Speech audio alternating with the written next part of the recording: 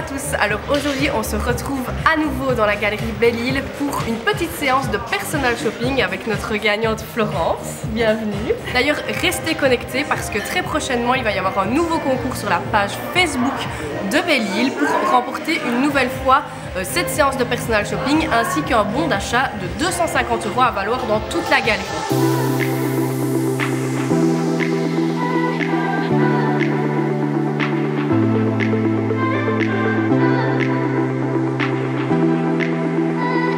Bye.